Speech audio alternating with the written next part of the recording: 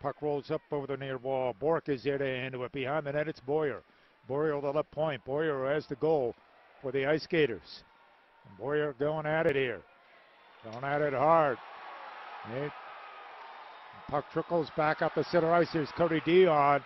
And now we got uh, Benjamin Rubin getting involved with Tesoriero with one another. And now we're going to have some penalty time dished out.